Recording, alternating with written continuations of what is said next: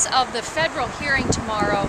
uh, that will focus on Governor Rick Scott's voter suppression law. This is a law that was passed by the Republican legislature last year, and the effects are very dire because Governor Rick Scott's voter suppression law will keep people from voting. This is the United States of America where we cherish our ability to vote in every election, and yet Governor Rick Scott uh,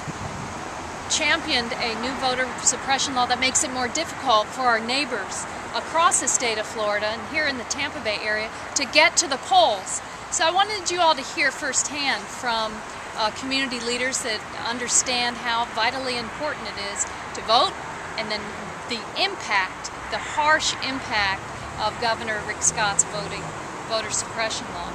Uh,